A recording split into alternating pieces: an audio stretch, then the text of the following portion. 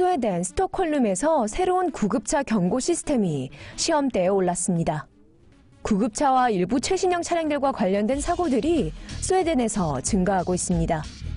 이는 일부 자동차들이 너무 소음 방지가 잘 돼 있어서 운전자들이 구급차 사이렌 소리를 듣지 못해 불상사가 발생하고 있기 때문입니다.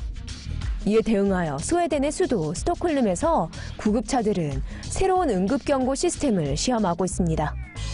스톡홀름시의 구급차들은 FM 라디오 신호를 보낼 수 있는 시스템을 시험하고 있는데요. 이 신호를 무선 데이터 시스템이 장착되어 있는 자동차들이 감지할 수 있다고 합니다.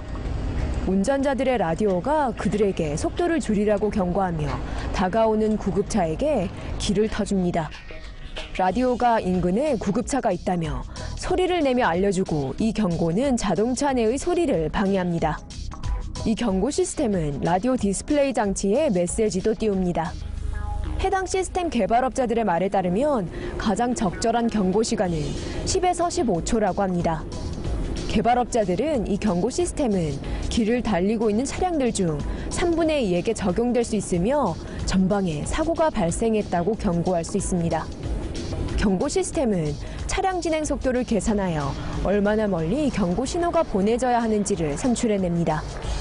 예를 들어 고속도로에서는 차들이 천천히 움직이는 도로에 비해서는 경고 신호가 더 빨리 도달할 수 있습니다. 개발업자들은 이 시스템은 긴급 구조원들에게 접근성을 강화시켜주고 도로 안전을 개선해 줄 것이며 구급차 운전자들에게 있어서는 상황을 훨씬 수월하게 만들어 줄 것이라는 말을 전했습니다.